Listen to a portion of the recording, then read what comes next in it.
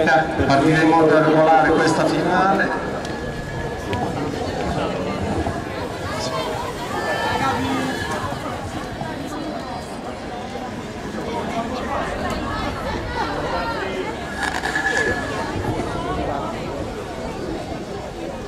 allieve femmine rinnoviamo l'invito a presentarsi sotto al gazebo per le operazioni di appello per la gara 5.000 metri a eliminazione.